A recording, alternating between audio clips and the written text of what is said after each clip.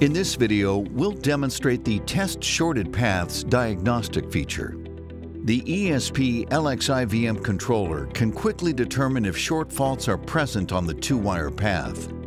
Although finding the exact location of issues in the field often requires some amount of in-the-field troubleshooting with a clamp meter, the controller has some built-in features to help you narrow down the possible issues.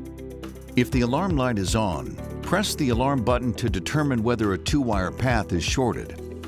Turn the controller dial to Diagnostics. Press the down arrow key to select Diagnostics, then press Next.